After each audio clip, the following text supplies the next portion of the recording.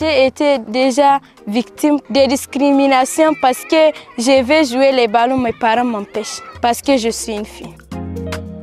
Par exemple, quand on rentre dans une classe, la disposition des tables bancs des élèves, avant on peut voir une rangée des garçons à part, celle des filles, la rangée des filles à part. Aujourd'hui, ce n'est plus ça. Quand vous rentrez dans la classe, vous allez voir une fille et un garçon sur une table assis. Je serais contente si on me nomme un capitaine de football parce qu'on est les mêmes. Les filles et les garçons sont les mêmes.